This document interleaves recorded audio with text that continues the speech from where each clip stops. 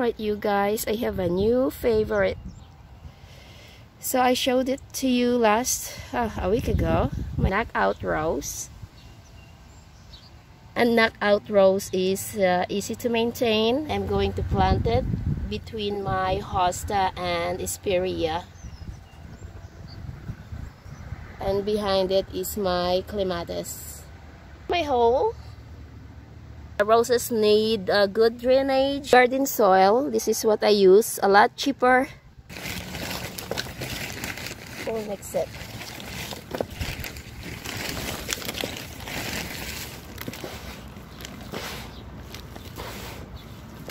We'll add more sand.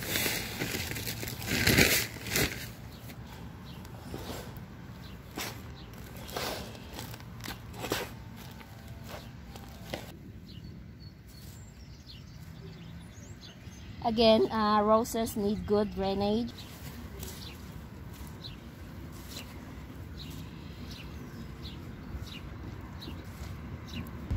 So what you need to do is press all side of the pot so to loosen the soil, okay?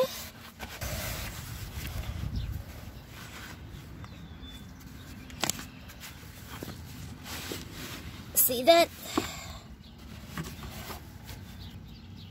There's the roots.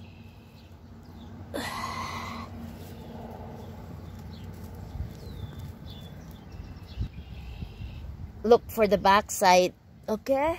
Position it. Ah, it's, it broke. But look at that. So the new rose is coral. And then that's uh, when, when it's old, few days old, it became uh, pink. Almost purple a little bit. So pretty, right?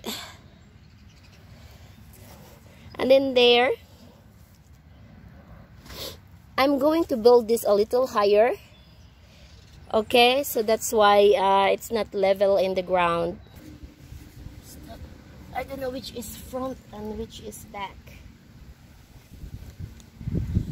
Is that like that?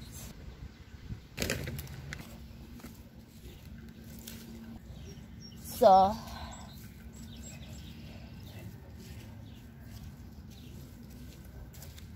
so I'm going to build this a little higher in here.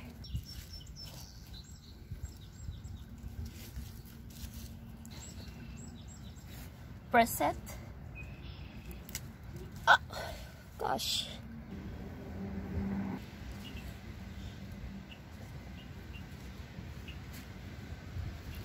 Alright you guys, I'm adding more sand and uh, potting soil and garden soil, okay? Because I'm building this uh, area in here that it's a little higher.